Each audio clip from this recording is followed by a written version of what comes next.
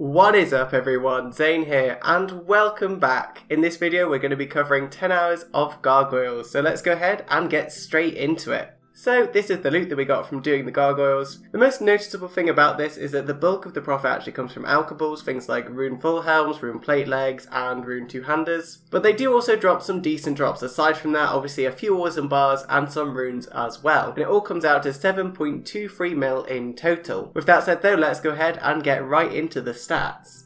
So in terms of experience, there's a few things to mention. First of all, these are very, very decent melee experience, above average for most monsters actually, and you have to factor in that I wasn't on a Slayer task when I did these. On the flip side, the reason why this is so high is because I didn't use a full Guthan set to heal. If you do use Guthan's, it will reduce your experience per hour, because Guthan's does less damage overall than using a best in slot strength weapon like the Abyssal Bludgeon which I used. The only other thing to mention about this is I gathered these stats with 85 attack, 95 strength, 84 defense and 95 hit points at the start and I ended with the same stats as well. So obviously if you're higher in your strength and attack you could expect even better results than me and if you're on a Slayer task all the better. In terms of the loot, Gargoyles pull in a very respectable 695k per hour. But this really isn't that significant until you factor in the fact that you're also getting above average melee experience as well, so it makes it both an incredibly profitable and incredibly viable training method overall. And again, if you're doing this with similar stats to me but on a Slayer task, you might expect to make a bit more money as well, so they're even better than is being shown here.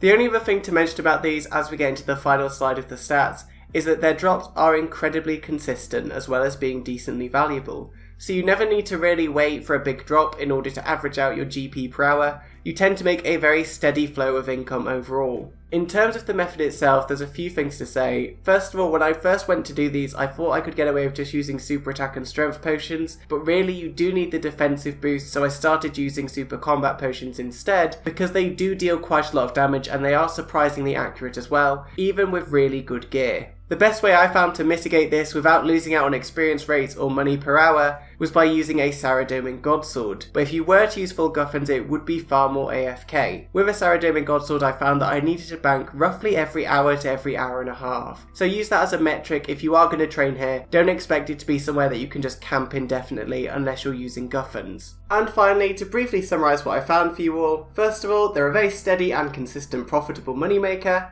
Secondly, they have very, very decent experience rates, above average for most monsters really. Thirdly, they are not as AFK without Guthan's, but the Saradomin Godsword can help as a stopgap measure for that. And finally, they are an incredibly viable Slayer monster, but also incredibly viable as a basic training method while being very profitable as well. So as always, I hope you enjoyed this video, and if there is anything you'd like to see me cover, feel free to drop me a line down below and I will do my best to make it happen. Although just know I am working on a bigger project at the moment, so it might take me a little bit longer than usual to get to it. And with that said, I'm out, so I hope you had a nice day, and I will see you all next time. Bye guys!